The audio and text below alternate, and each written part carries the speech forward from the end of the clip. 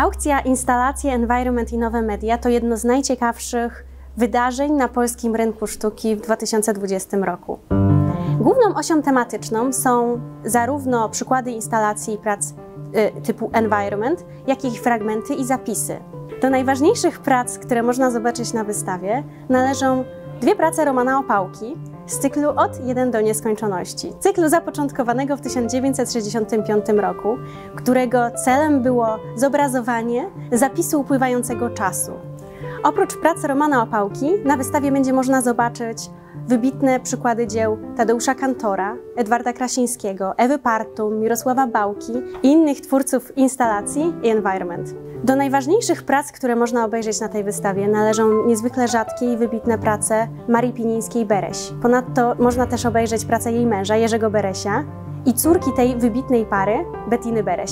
Mama jest w tej chwili uważana za y, artystkę, która y, zapoczątkowała y, sztukę feministyczną w Polsce. A skąd to się wzięło? Wzięło się z domu, bo ona pochodziła z ultrakatolickiej rodziny, bardzo tradycjonalistycznej, y, patriarchalnej. I te doświadczenia zaowocowały właśnie tymi treściami w jej twórczości. Tata zawsze jak tworzył, to pierwsze co, to robił jakby tak dla siebie raport rzeczywistości.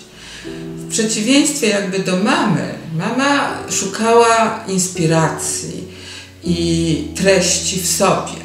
Natomiast ojciec szukał na zewnątrz.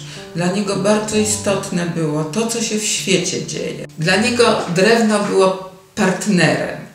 To nie był martwy materiał, tylko coś żywego. On nigdy nie kleił, nie suszył drewna, żeby ono przestawało pracować. Zawsze brał pod uwagę, że drewno się rozsycha, pęka, ma swoje życie. Wybierał kawałki drewna, które mu pasują. Jakby współtworzył razem z tym drzewem, które używał do swoich dzieł. Zawsze się zastanawiałam, jak to było w przeszłości, kiedy kobiety wyszywały makatki.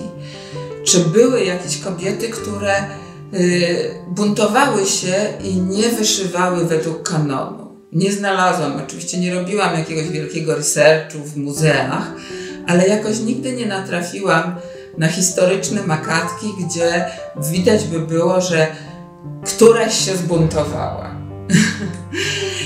Więc te moje makatki jakby w formie są tradycyjnej, natomiast te hasła są często obrazoburcze i mocno feministyczne, mocno prowokacyjne. Mnie wychowała feministka. Właściwie jeszcze, jeszcze wtedy te, w dzieciństwie tego się tak nie nazywało, ale te poglądy to są dla mnie oczywiste